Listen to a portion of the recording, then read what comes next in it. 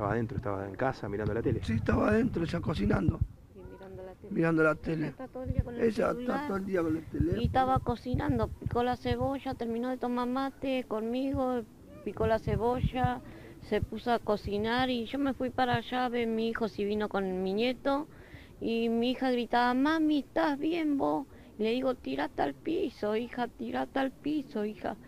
Y ella me gritaba a ver si yo estaba bien. Voy, salgo, pararon de tirar tiro, voy rápido corriendo y ya mi hija estaba tirada en el piso. Eso es lo más que más me duele porque no hicieron nada para ayudarme a levantarla a mi hija. Para mí iba a tener, se iba a salvar ella, pero nadie me ayudó, estaba yo sola, estaba. Es decir, que ella misma primero le grita a usted, advirtió lo que estaba pasando se ve afuera. que ella tenía el... Sí, grita, mamá, dice, ¿estás bien vos, ma? Sí, hija, tirate al piso, le digo, yo estoy bien, le digo. Y cuando vengo, después le grito, hija, Mili, hija, hija, contestame. Me mandé, y ahí cuando empezaron a tirar, pero me mandé igual. Y la veo que estaba tirada en el piso, acostada, ya estaba abriendo la boca, ya estaba dando vueltas los ojos.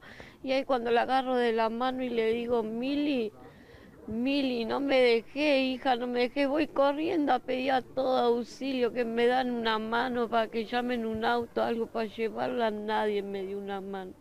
Sí, no, no, esta es la primera vez que escuchamos así. Sí. Nunca, después de que estamos, pues nosotros compramos acá. Compré con mi hijo y es la primera vez que pasa esto. Nunca, nunca escuchamos los otros así como Yo fue. el portón a las Yo a las 7 ya tengo todo cerrado, cerrado. todo cerrado. Ninguna de mis nenas salen. No, todo cerrado está a las 7 de la tarde. Solamente abro a las 9 cuando él se tiene que ir a trabajar nada más. Está todo el día cerrado. Así que, no sé, me sacaron una vida, me sacaron. Un pedacito de vida, todo completo me sacaron ya. ¿Qué quiere que le diga? ¿Me la van a devolver? No me la van a devolver. La justicia no me la va a devolver a mi hija. La verdad que no me la devuelven a mi hija.